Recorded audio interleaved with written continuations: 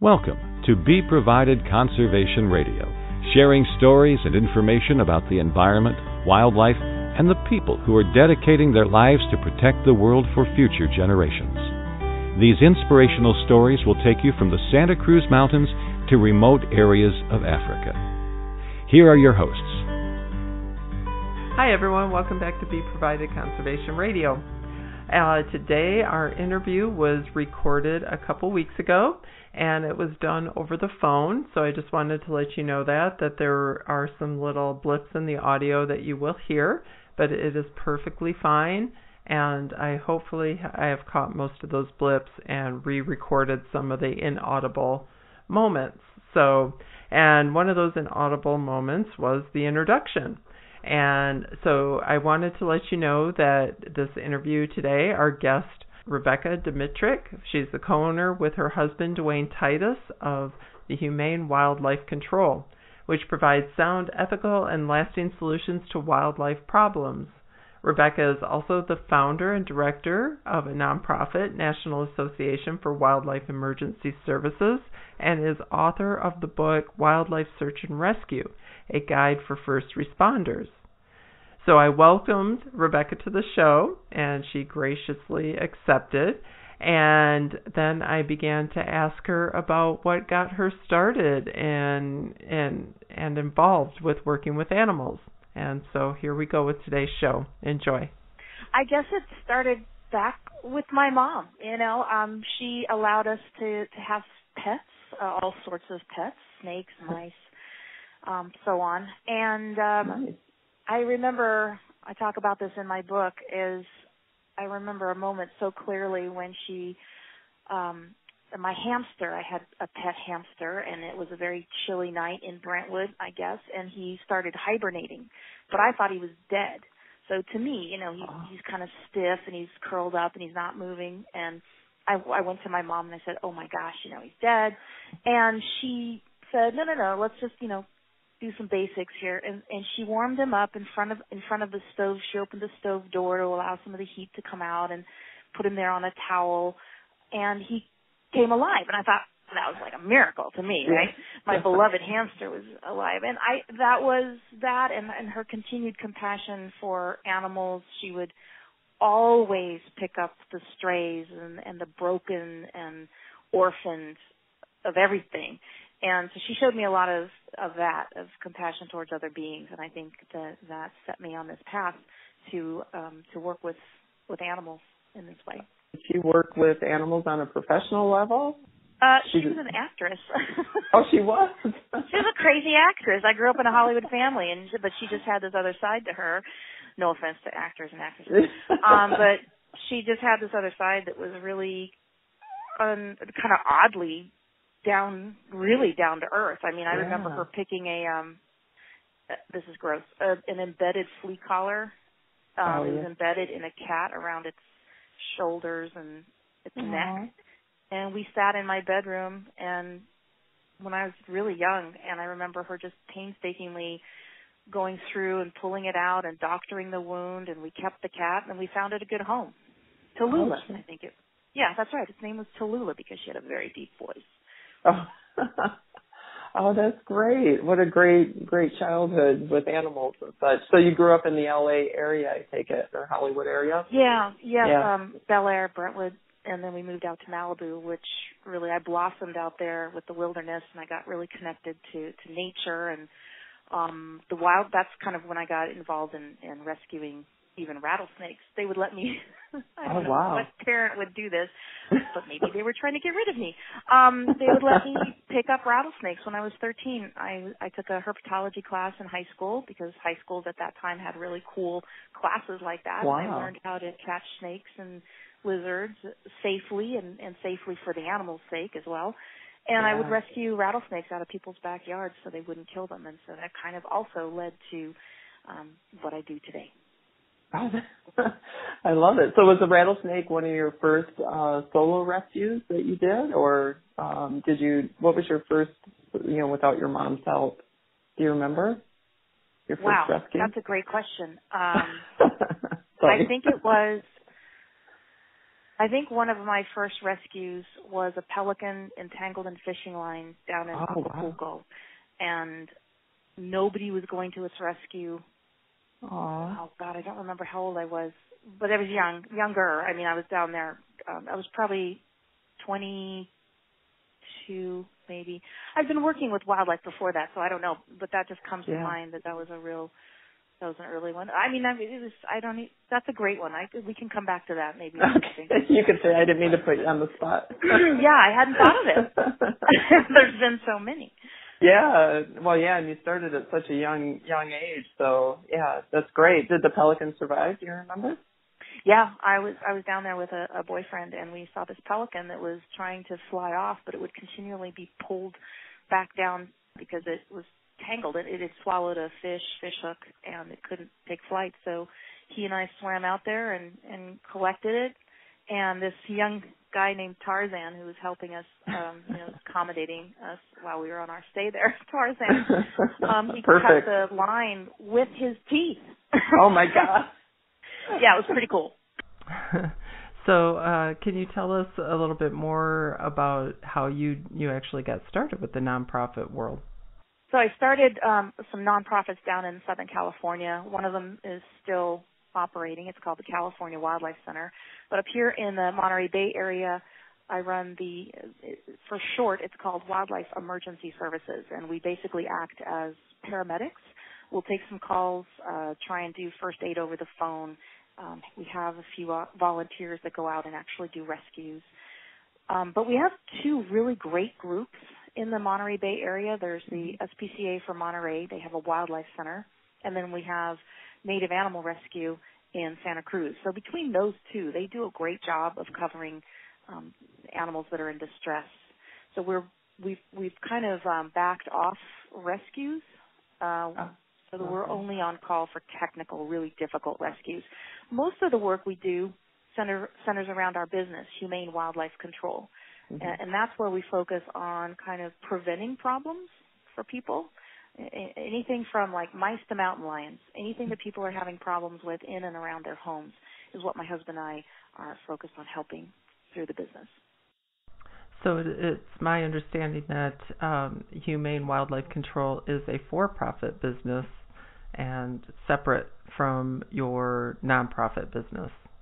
we we separated out from the nonprofit because it just started getting really big and and more effort being put into that so we we Mhm. made it into its own separate thing it's it is a business i hate to use the word pest um Oh, so i true. i'll use Yeah. wildlife control but it is most people would say oh it's a pest control company and yes we are unfortunately classified at this point in time as pest control we're also called nuisance wildlife control operators Mm. um, that is something. It's a thing, but again, we're we're coming from a little different perspective. We're we're an unconventional, if you will, pest control company. We look at the the core problem. We find the core problem, and the, that's not the animal. A lot of people think if I get rid of this animal, I'll get rid of my problem. But the Mhm. animals aren't the problem. They're a symptom. Their presence is a symptom of the problem. The problem is, in most cases, a source of food, a reliable source of food, uh, resource that animals can depend on. And when you have that, then the animals move in. I mean, we are, we, humans and animals, are all linked to a food resource. We Mm. can't live without it, right? Mhm. So Right. in urban environments, we see such an uptick in in conflicts with wildlife and humans because we are sloppy, we humans, and we we want lush gardens and we want waterfalls and koi ponds and gardens and orchards, Oh, and we so we make these artificial ecosystems that are rich in resources and can support more more animals, more wild animals than in in nature. yeah. When I when I do my talk, I I, I show a, a chaparral, the Chaparral Mountains, and in the background is Los Angeles, and I say, where would you go for food?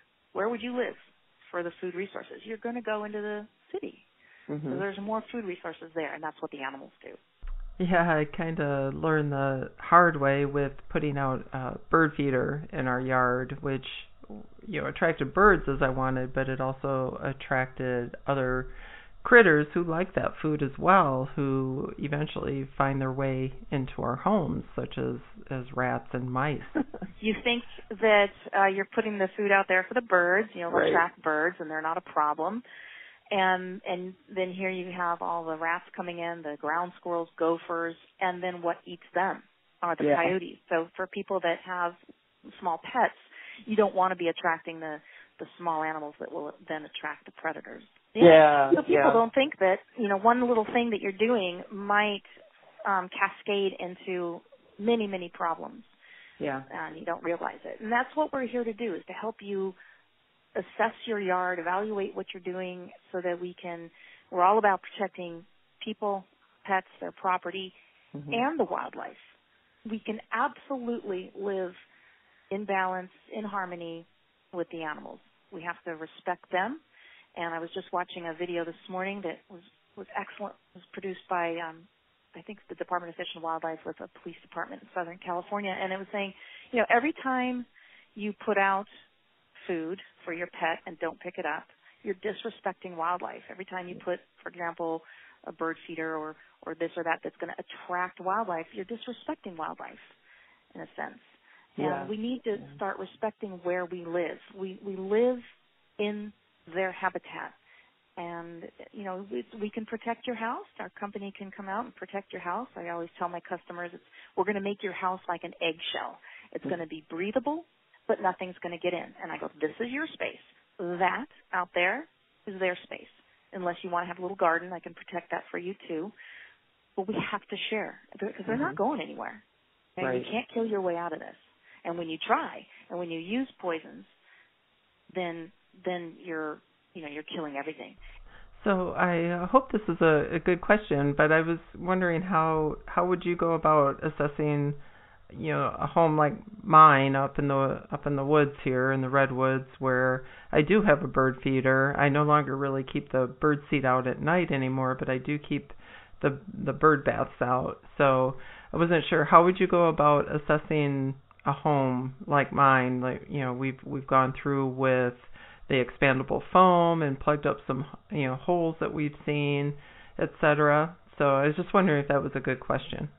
Yeah, no, that's a it's a great yeah. question. Um, and and yeah, right off the bat, I can I can mention a few things. So okay. expandable foam, do not use expandable foam. Oh, they don't. Right okay. through it. No, oh. I know. And okay. we go into these first. It's ugly too, and it is ugly. right through it. Um, okay. And then it takes more work for us or a company like us to come in and we actually have to remove the foam and do it properly. Okay. We use galvanized and stainless steel um, hardware cloth, so it's quarter oh. inch. Don't use anything larger than quarter inch. You want um, quarter yeah, inch hardware cloth.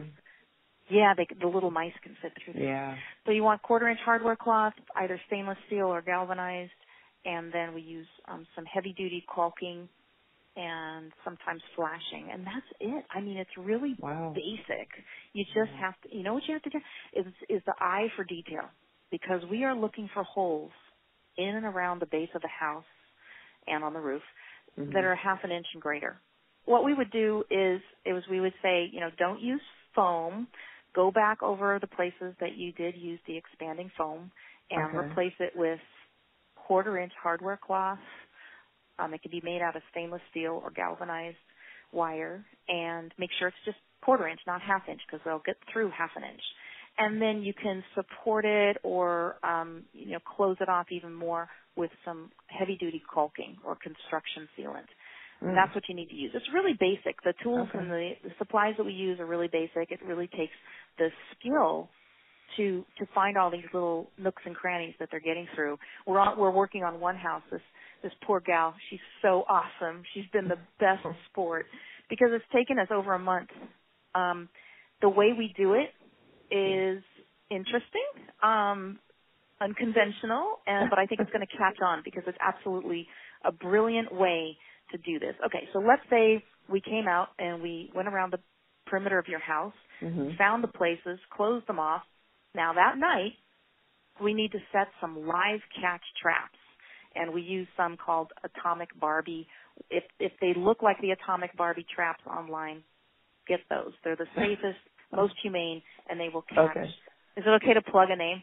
Oh, it is. It is. It's just okay. laughing at the name. Yeah. I know. So so we use the atomic Barbie traps that are found on Amazon. They're about twenty dollars. Um, okay. They're um they're they're sm- small traps, but they catch both mice and rats, and they're super gentle and very very easy to use. So we like to recommend those traps. They're called atomic Barbies, and or or there are other names, but they look just like the atomic Barbie trap. So that's what you'd want to look for. So we would have you buy those ahead of time, or we can sell them to you or rent them to you. We would do the repairs around the base of your house 1st mm-hmm. If you have attic problems, we probably would do a couple things on the roof, but we want to focus on the ground level. That's where they're really coming in usually the most. Oh, okay. And once the house is sealed is when we want to, to put the live catch traps underneath the house so these guys can we can get them out. They they won't last long. They won't last a couple days without food and water. So we want to make sure we've got the ability to get them out. You'll set the traps. You'll check them by 10 a.m. in the morning, and hopefully we'll have caught something. Now, what you this is this is where it gets a little weird, but I really haven't had much pushback from people. Mm-hmm. You get the animals out, you put them out in the yard, you let them go in your yard, and you watch them and it's kind of funny because some of my clients really get into it. They're like, "Oh, look, I watched him, and he went over here, and and I and I found a section where he was trying to get in, and he can't get in anymore." And that's the thing. Yeah. You're paying yeah. a lot of money to have your house worked on. You want to know that it's rat proof. You want to know that what we've done has been sufficient enough to keep them out. And the only way to do that is to have the little guys try. Rats yeah. and mice are really smart. Rats are really, really smart. They know exactly how to get back in your house. They follow their trails. They follow their nose. And by the way, their sense of smell is greater than a bloodhound. Oh they oh know gosh. exactly how to get back in your house. So we want them to do that. You want them to do that. You've paid all this money for the repairs. You want to know that by the time we're over and done, you are completely rat proof. Killing them, if you were to put out snap traps, or, which a lot of companies do after they've excluded the rodents, mm-hmm. then you you don't you won't know for six months or so that the work that was done wasn't good enough because uh, you'll have yeah. more rats getting in. You know what I mean? So yeah. this is the only way yeah. to confirm that the house is rodent proof is by doing this process. And it is a process. It usually lasts about a week, but some of them take a little longer. But um this is the process. And like yeah. for instance, we're doing that right now with this one um gal and we're having to she's actually dyeing the rats for us the, with vegetable dye. She dyes their foot or their tail. Okay, Mr. Greentail was getting back in, so we know we've missed something. Anyway, Oh, that's that's, great. that's how we do it. It's really pretty interesting. I think it'll catch on because it really is the only way to do it right. Hmm. So it seems like this is definitely a, a lifetime solution, or at least a solution as long as there is regular maintenance done that will will be permanent, right? You know, Yeah. we give a three-year guarantee on most things that we do, and but if it's if you get three years, you're probably going to get decades. It's really more about the the material of the house. The, the, Mhm. If it's if you have a wooden house and you're not maintaining it, and the wood gets soft or rotting, then it will be more of a problem sooner. We do have repellents that we use. They're made out of essential oils, and again, rats have great sense of smell, so they don't like certain things like eucalyptus oil, peppermint oil, citronella. They don't like these aromatic oils. They're very offensive to them. So if we uh, sometimes if there's a spot like an open shed where somebody keeps tools, a tool shed, you know, we'll spray some of this stuff in there and it keeps them out for weeks, really. Oh wow. In in addition to the the essential oils we use as repellents, there's a couple things to think about in the in the yard um, to repel sometimes repel mice and rats, but the larger critters that might want to come into your yard or garden, we have found a couple of, of things do help. Um, they can ward them off. They're motion activated repellers. You can find them online. They they give out a little sound that you can adjust Mm-hmm. and some lights that flash. One of them we like a lot is called um, the Yard Sentinel. There's Oh. also a larger unit that sprays water. Great for coyotes, deer, raccoons. You know, any of these things are going to be dependent on how big the draw is. Like, it's not going to be as successful if you've got a banquet in your yard and they're used to it, right? They're they're habituated, they're conditioned to come into your yard. But yeah. it will be really super highly effective if there's nothing really there for them and and you want them to keep away.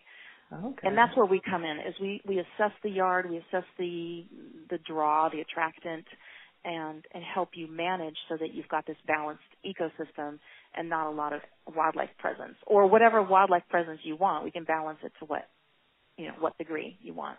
Um, I also want to mention a a really interesting animal that we have in the area that a lot of people don't don't know about, don't think about when they're using um, kill traps.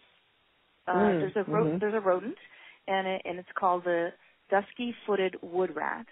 Oh it's yeah. Not, it, it is a rat. Uh, some people call it the pack rat, but this is a dusky-footed wood rat.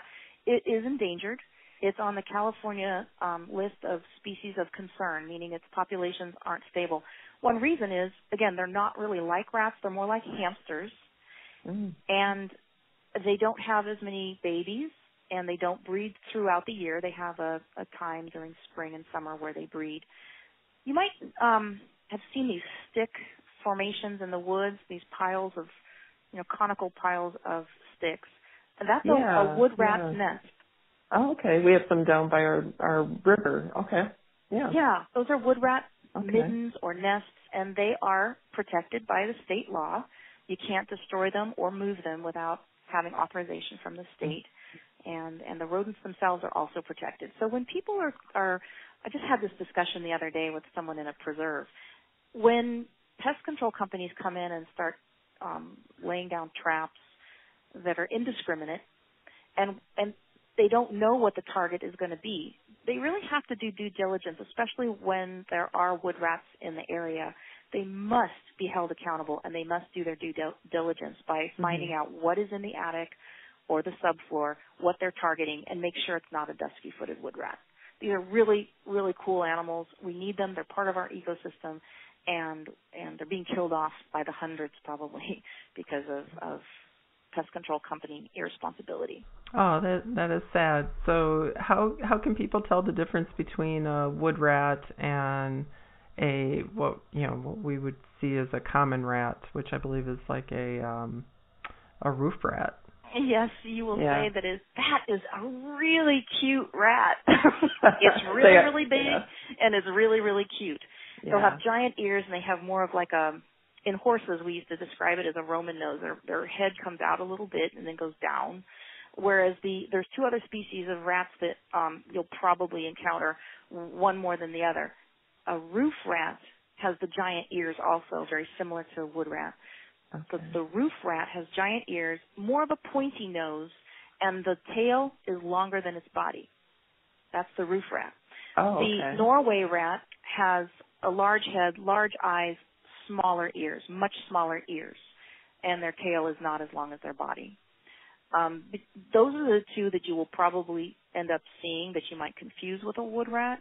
okay. Um, they are non-native, and they are the only ones that you can kill with the poisons. If you look at the label of a poison box, and I'm not advocating for use of poison, but this is just one of those loopholes that's there where our wood rats are getting killed because of this um, irresponsibility.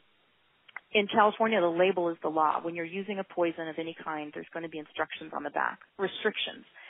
We're only allowed to use poisons, and I say we collectively, Mm-hmm. on certain species, and those are the non-natives. In California, that's the house mouse, the little teeny tiny house mouse, the roof rat, and the Norway rat. So it's actually illegal for pest control companies to place poison bait stations that could harm native species. That yeah. could harm anything but those three. And you know Yeah. they don't they don't do that. And these Yeah. bait stations that are put in the house or outside of the house are are not they're um, indiscriminate killers. Not only should we not we shouldn't be using them for that reason, but we shouldn't be using them because all that poison ends up usually getting into other animals like the owls, the bobcats. We've got a tremendous number of bobcats that have come in, and they have pesticide uh, rodenticides in their livers, and they Mhm. end up dying because of it. Oh, that's too bad. Hmm. So so where would we find the the wood rats? We find the wood rats in urban areas that are kind of close to oak woodlands or forested areas. They're all over the Monterey, Monterey Santa Cruz area.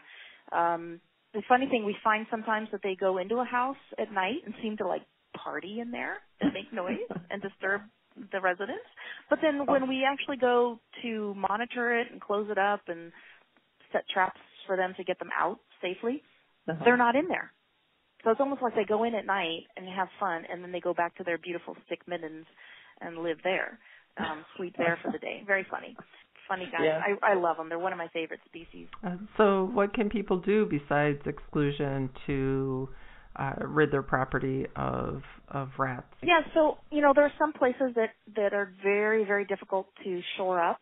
I mean, mm-hmm. exclusion is number one. You want to protect your structures, whatever they are, the tool shed, the home, outbuildings, uh, the car. We we can talk about the car corral at some point. Mm-hmm. So you mm-hmm. want to exclude the animals, not allow them in to your space. Now there's some places that you can't do that, so you can use repellents, we talked about, and and then there's um, a couple things that you can do outside of your home to keep those populations down. One of my favorite things to recommend, of course, because it's fun, barn owls. Barn mm-hmm. owls are our native species of owl, and they are sedentary, meaning they kind of stick around on a property or within a few miles.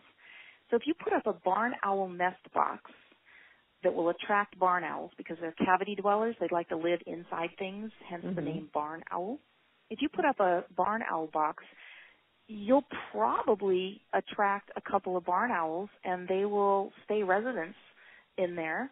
Um, they'll produce a, one or two clutches of babies per year. One baby, one owlet as it's growing up can consume the equivalent of 12 mice in a night. So that might be one giant gopher. Oh my gosh. Yeah. Yeah, so they really do uh, thousands. They will eat thousands of rodents over a nesting period. And that's one way to naturally keep down your rodent population outside. They're great for gophers. We've had great success stories where we have put up owl boxes. Um, I just want to warn people right here: do not buy, don't don't fall for all of those boxes on the internet. They have to be a specific design. They must be large. So anything less than 36 inches wide, don't don't buy it. Uh, we have our own that we build, and we also give our instructions away for free if you want to build your own. But it must be at least 36 inches wide, and the entry hole has to be a certain height, very high actually, to keep okay. the babies in there sufficiently. Um, the other things that they can yeah. that you can do, there are there are a couple um, things new on the market. One of them is called ContraPest. It's a contraceptive that was just brought out about a month ago. Just got um, licensed in California. It's a contraceptive for rodents. Hmm. I know it sounds funny, right? it but it's a way that we can try and reduce their populations without getting poison into other animals. Uh, so, Rebecca, will ContraPest, you know, will that affect the the wood rats as well? I think you would want to be careful since they have such uh, low numbers of or low birth rate, I guess. Excellent yeah. question. Exactly. Yeah. yeah, you want to make sure that you're not in wood rat territory. You would have somebody like us or another qualified biologist come out and make sure you don't have wood rats. I'm so glad you brought that up. It's really important. But yeah. if you have the Norway rats and the roof rats, it's one way of, of using something that can be kind of set out. Um, it's a little expensive, um, but you can set it out and kind of not worry about it. This is yeah. something that's controlled by the pest control industry, so you'd have to hire somebody, um, a pest control company or, or us to come out and do that, to place it and monitor it. Um, the other thing that's available now, it's kind of new, it's new to me, is called the A24. Um, it's kind of kind of gross. It's a captive bolt. Um, mm. It's intended. It's a kill trap, but there's no poisons, and uh, it's very very humane. They are knocked unconscious immediately, so there's no suffering, and then the this is this kind of gross. The carcass is no. there, so if yeah. it wants to be consumed, if there's a if there's a neighborhood cat, hopefully not, but if there's a bobcat, a fox, a raccoon, a coyote, anything that that will be will take that rodent away, you know, it's done. We like it because it's good for places like um that have that that have recurring um, populations of rodents that they absolutely need to keep down, and they they shouldn't and shouldn't use poison. So this is a way of, of really knocking a population down fast without risk to other animals. Hmm, that's interesting. Yeah, I've never heard of that. Yeah, it's, so. it's brand new. A couple places yeah. I know are using it, and it's successful. A24. Uh, it's So- made by Good Goodnature, I believe, and it's a uh, little trap that gets set up on a, a either a tree trunk or uh, inside the house in the attic, and the animal goes up to it, sniffs it, and it gets knocked Knocked unconscious, out. dead. Oh. Yep, knocked Wow. out. And that it's uh, certified humane. I mean, that is that is Yeah. one of the ways that that to to perform euthanasia, if you will, Right. um, that's approved in our country. Yeah. So going back just a, a step back to the contraceptive a little bit. So if if I wanted someone who like you or or someone similar to you to come in and assess, could could I request that instead of um, using a poison or any other method that would seem harmful? Is that something that that you can ask your your uh, wildlife control people to come in and use now, or Yep, can, I don't can you buy it if- personally, or You cannot buy it personally. Okay. is it's something that's restricted, and you have to have a qualified applicator's license to okay? to place it. So we Uh, would call someone in- like you to come in Yeah. and yeah, okay. Yeah, or a pest control company. Hopefully, they're they're moving towards this. It is a little expensive, but you pass that on to the consumer if they're willing to to pay for it. It's certainly a much better alternative than any of the poisons. We've Hmm. got to get off the poisons. It's just killing Yeah. our pre- predator species. Hmm. So I, you know, I was hoping before I let you go too, Rebecca, that we could segue into talking about or having you talk about your your app uh, to help with wildlife rescue. Yeah, thank you. Um, Yeah. One of the biggest problems faced by people who find animals in distress is who do you call? How do you get in touch with somebody that knows what they're doing and can help you? It's it's a chronic problem, and so in oh gosh, 2011 I think it was. Um, I started designing this app for for use on iPhones and and eventually on Androids. So it's called Wild Help. It's free for download on, at the iTunes store, and it'll work nationwide. If you find a wild animal in distress, um, it'll go. It'll ask you questions like, you know, what kind of animal did you find? And it's very, very simple to use. It'll ask you some questions that are really going to help the the hospital or the rescuer that you get in touch with. hmm And towards the end of answering these questions, if you've, for example, said something like, oh, it's a baby um, squirrel and it's curled up in a ball, then it's going to give you instructions on how to keep that baby safe and warm. Warmth is really critical to get to an animal that's hypothermic and quickly. So it'll give you some of these instructions to first aid instructions to keep the animal alive um, Oh, while you're great. searching for the person to come and help it.